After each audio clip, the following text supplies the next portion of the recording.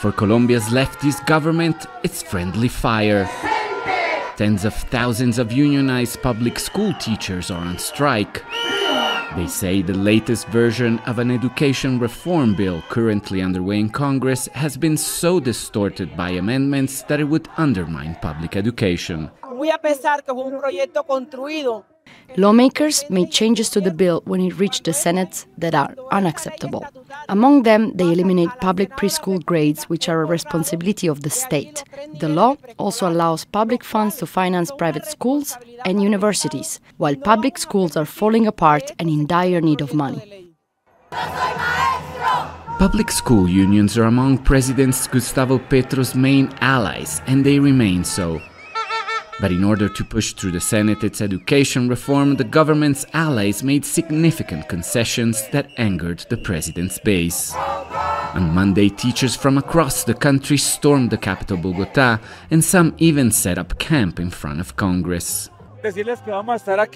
We will stay here with our tents and our massive turnout day and night, demanding that the senators understand that their function is to legislate for the people and not private interests. The message is clear. We will stay here until they decide to strengthen public education instead of destroying it.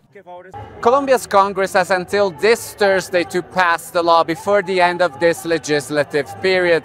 And the teachers are saying that they will remain in this plaza until they manage to force lawmaker to either withdraw the law or get rid of the controversial amendments. Senators who supported the original bill say this is becoming a missed opportunity for an education sector urgently in need of an update.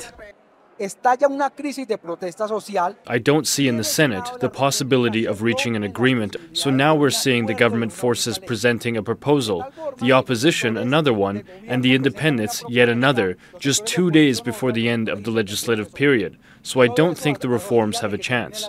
Yet teachers called for another major rally on Wednesday to keep pressure on the Senate.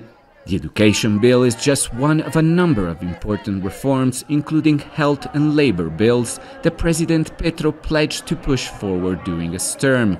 But most continue to face an uphill battle in a deeply divided country.